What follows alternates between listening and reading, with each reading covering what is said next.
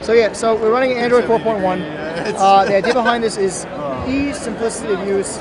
We built in the sensor into the lens. All right, it's a little bit different end around way of doing it. Instead of having the sensor built into the camera, when you take off your lens, you take off your sensor as well.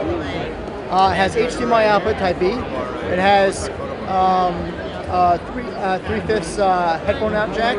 It also has micro USB connection for your PC, it's, uh, Connect, and it has Wi-Fi built in. It has a video editing software inside. It'll come with 12 different apps uh, built in. Uh, but the idea behind this also isn't just you have to use Polaroid's apps. You can use your own apps. It's open technology. We want you to be able to use either your app or our apps to take your photos and edit your photos. That's the whole idea behind Android. That's how we feel about it. That's we're very into open. We want you to feel the same way.